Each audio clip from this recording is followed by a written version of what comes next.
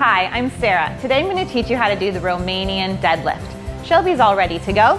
She's got her hands one forward and one back. Notice the different grips. That's going to keep the bar closer to your legs. Her feet are about hip distance apart.